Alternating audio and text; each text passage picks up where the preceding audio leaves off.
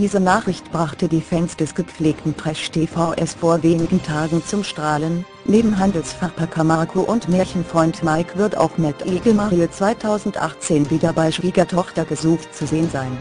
Der leidenschaftliche Howard Carpendale-Imitator versuchte bereits 2010 sein Liebesglück und hatte seine zwei Anwärterinnen damals mit einem schmackhaften Matt Eagle bezirzt.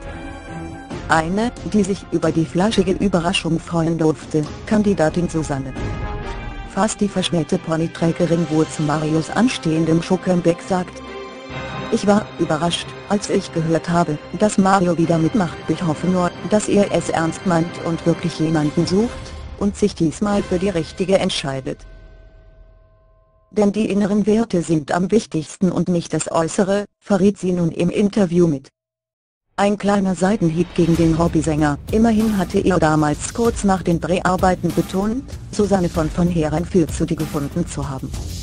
Ob sie die kommende Staffel verfolgen wird, wisse die Ex-Liebesanwärterin noch nicht, trotzdem wünsche sie dem Fleischfan alles Gute. Insgesamt habe sie die Zeit bei dem Lebensmittelkünstler in guter Erinnerung behalten, nicht zuletzt wegen seiner herzlichen und lustigen Eltern. Ihre große Liebe hat Susanne übrigens fernab ihrer Kuppelshow-Erfahrung gefunden, bereits seit fünf Jahren ist sie glücklich vergeben.